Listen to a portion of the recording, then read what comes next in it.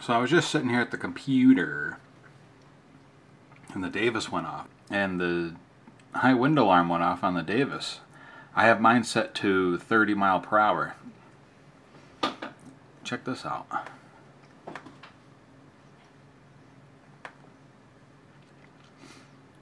See, it's 20 after 3. Two minutes to 3 we had a 30 mile an hour wind.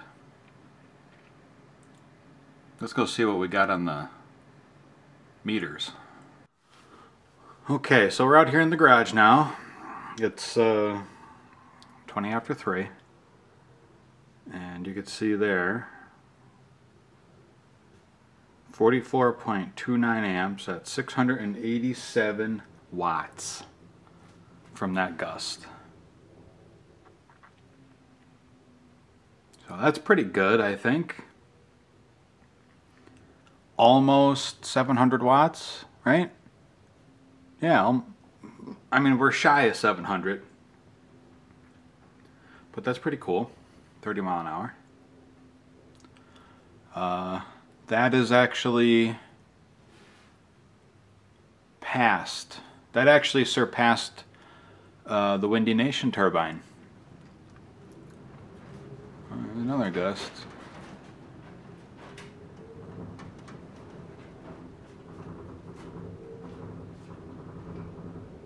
Don't know if you could hear that. But when it gets that kind of that kind of wind, it starts to chatter. I don't know what it is. I don't know why it's doing that, making that sound. I don't know if that's something with the blades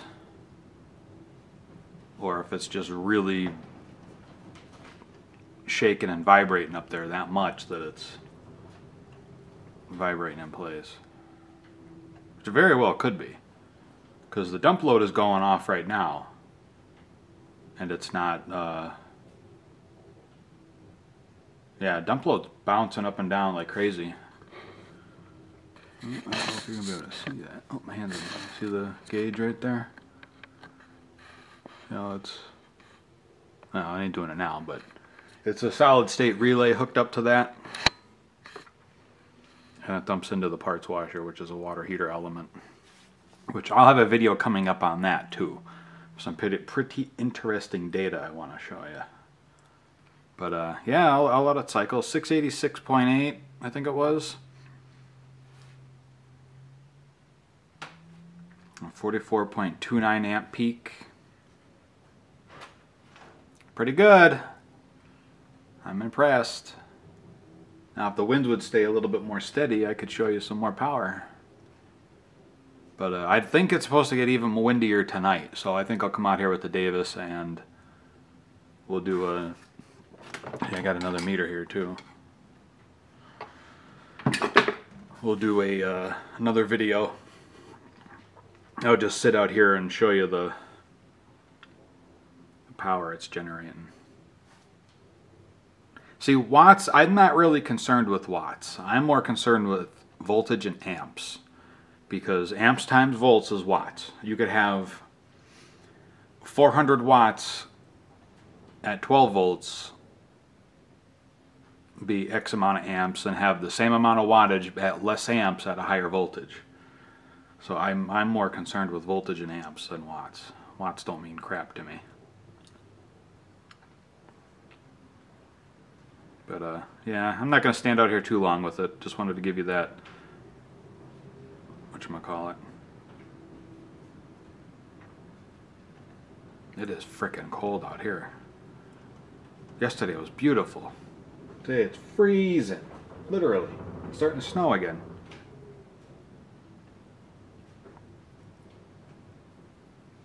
I'll see, maybe I'll come out in a little bit. Maybe about an hour I'll come out. I'll see what the winds are doing and I'll uh, give you an outside view. It'll be windy as hell, so I might have to knock out the audio. But we'll maybe get an outside view of what it's doing. So, there you go. It's been generating pretty much all day today. There's been a few lulls in the wind, but that's about it. I mean, and it's it's dead silent. It's generating 5, 10, 20 amps.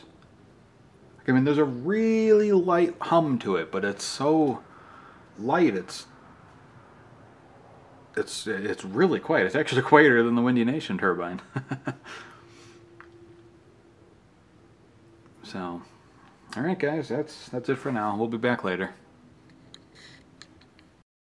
Okay, guys, here is the next day. It's been a windy night. The Thermodyne has been producing power all night long.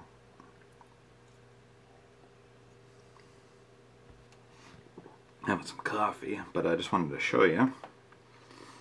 Today, we had a max wind speed of 31. Yesterday we had a 30. And that one was a, actually a pretty consistent 30 for a while. It was like 30, 29, 28, 30, 30, you know. Okay, so let's go see what kind of kind of power we got from the the Thermodyne. All right, guys. Just wanted to give you a update here on this. As we saw from the Davis, it is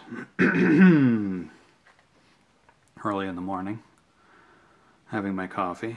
I uh, just wanted to show you the elapsed data. So it looks like we hit a 50.61 amp peak with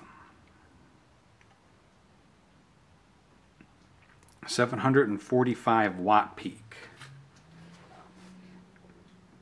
Pretty good if you ask me and winds are starting to die out. So yeah. So we just get gusty winds and I mean this thing just power ramps up so fast. Thermodyne you did an excellent job on blade design and PMA magnets copper combination. Did a fantastic job. Did a fantastic job. So anybody out there that you want to get a micro wind turbine and you want something that is going to produce. And as far as I'm concerned you have two really good choices out there. You can get a Thermodyne or a Windy Nation. My Windy Nation has been so good to me I got to get it back up. I don't like the fact that it's sitting on the bench because I've had that turbine the longest and it works really well and this one works really well. These are good turbines. Thermodyne is making a great product here. It's a good quality item. It's it's a it's a good turbine. It's a good investment. And they're dirt cheap. They are dirt cheap. I mean, you can't ask ask for much more. I mean, you get a turbine that you can mount on a inch and a half schedule 40 or 80 pipe stick it in the air with some proper mounting techniques and charge up batteries or even grid tie it. I highly suggest going into batteries and then dumping it into a grid tie inverter as opposed to just relying on a grid tie inverter. But especially these garbage China ones, they suck. I don't even have mine hooked up anymore. But uh, nonetheless, I mean, I am truly impressed by how much power I'm able to extract out of that little tiny, what looks like a, an alternator you'd find under the hood of a Chevy Silverado. Basically, I mean, it's a 12 SI case that's just jam-packed full of magnets and copper, and it and the way Thermodyne did it, they got it down. They got it. And now he's coming out with the bigger one. Damn you, Bob. no, that's great. See, that's great. I mean, if you guys have watched any of my previous videos, you know that I'm passionate about things that work as they're supposed to. And I will promote the hell out of it if it works the way it's supposed to. Just like I did for Therma or uh, Wind, Windy Nation. That Windy Nation PMA has never let me down. This turbine has not let me down. Now, I can't speak for longevity because obviously I just got it up. The Windy Nation, I could speak for longevity. That that thing was up with no maintenance whatsoever for over a year. Once I took the high turbine down and I put it up, that was the last time I touched it. And mostly because, you know, I, I really wanted to see how it would handle neglect as far as, you know, lack of maintenance. Not really neglect, but just neglecting maintenance. And it held up pretty good. So now I'm, I'm going to do a similar test with this one. This one's probably going to stay on that tower.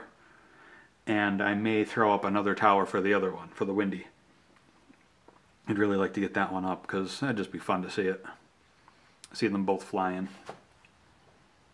Now I'm I do have one criticism for Windy Nation. They could do a little better on their blade design, I think. As I just don't think they transfer as much wind power into the turbine as it could. But having said that, they do work. They start up at a low wind speed and they catch as much wind as they are designed to and transfer it into the PMA and then into whatever target source you have. So for what it is, it's a good it is a good turbine. I have no complaints of the Windy Nation, and as of right now, I have absolutely no complaints of this Thermodyne. This thing is freaking impressive. So now that I've rambled, just give you that little update. And uh, I think what I'm going to do, just for shits and giggles, is hook it up to one of these grid tie inverters. Probably the 12 volt one, the 10.8 to 60 volt one.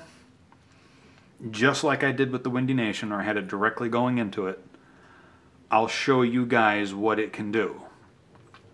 Or what it will do when directly connected to the inverter, the grid tie inverter. Just so that way you have a frame of reference. I did it with the Windy, I have to do it with this one. Um, so yeah, I guess we'll we'll go from there. So if you guys that are getting into the wind and solar renewable energy realm and you have any questions for me, don't hesitate to leave them down in the comments. I will uh, I'll answer them the best I can. And if I can't answer that question, especially if it pertains to this particular turbine, Thermodyne will jump in and he'll he'll answer those questions or anybody related to Thermodyne, they'll answer the question for you. And if they don't have the answer, they'll get it for you. They will find a way to get the answer. And they'll do the research they need to to get the answer. And as will I. So, alright guys, this will be the last video on this turbine for probably a few days. I, I want to let some test results kind of come in now, and once I get some more done out here as far as uh, moving stuff around, I'll be able to play around with this wiring. I got to get this wiring straightened up. Alright guys, it is windy out. I can't do much about the wind, but I wanted to just kind of give you a really up close look at the Thermodyne Supercore up on the roof. I have my telephoto lens on the camera. Oops. Uh, I'm zoomed all the way out as far as I can. I know it is windy. I apologize for that. I can't I can't really do anything about the wind. But uh, just to kind of give you an idea, the wind is really light right now. It's coming out of almost the north. No, I'm sorry, northwest. My bad. But uh, here, I'll just give you a quick, you can see that red that's on there. Okay, so there you go. You can see the supercore, there's the blade and the hub. You could see the pitch on those blades. And there's the front of it. You can see I didn't paint the hub black. I kept the, or I didn't paint the hub white. I kept it black. And you can see the roller bracket. And you can see my terrible wiring job. Right now I'm using uh, quarter 20 bolts with um, ring terminals on the end of each wire in order to attach the wires to the PMA. For right now, I'm going to put a weatherproof box up there with a junction terminal in order to properly secure it, but uh, Let's see, can I go any farther? No, I maxed out on my zoom. But there you go. You can see the roller bracket is kind of wearing some, or the wheels are wearing some groove grooves into the paint. There you go. Wow, the, the turbine is being very photogenic for me today. Rotating in and out of the direction that I want it to.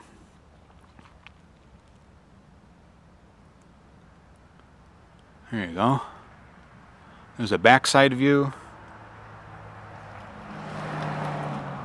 So you can see how the wires come out of the PMA and they splice up directly to my 8 gauge wire. And I have, throughout my entire wire pull for the 8 gauge wire, I have it wrapped in tape every like 2 feet so that way the wires stay together and they don't just like flail all over the inside of the tower and rub and everything. But right now, winds are like three, four mile per hour. There's really not a lot of wind. There's probably a seven mile an hour gust. Oh, here we go.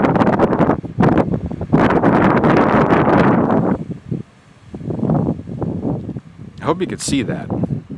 I hope you can hear me still.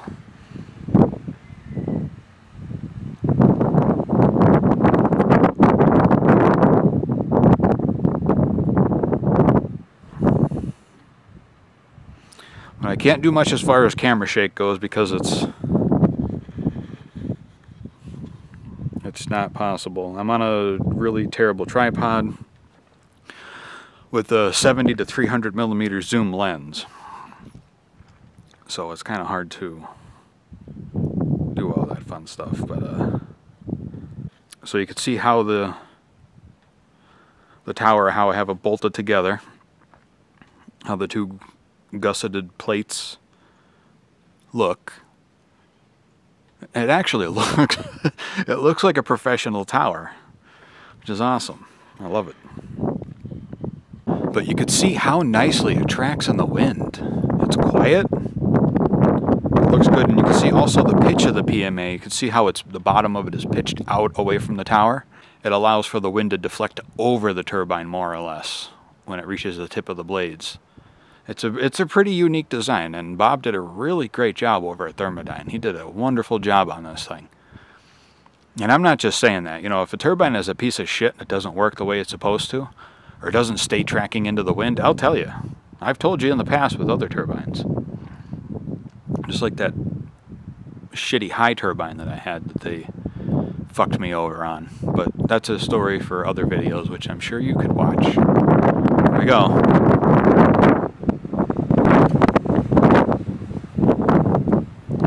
Okay, I am freezing my nips off. I'm going back inside. Thanks, guys.